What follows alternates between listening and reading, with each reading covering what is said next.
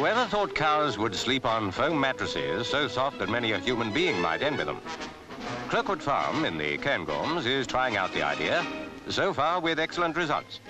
Look at the old way of bedding them down. The straw costs about five shillings a day for each cow, while carrying it to the stalls and spreading it is heavy work. But that's how it's been done for centuries. Why change it?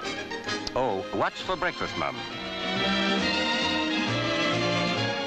The case for mattresses is that they soon pay for their cost by saving labor and straw, and the cows are more comfortable, sleep better, and yield more milk.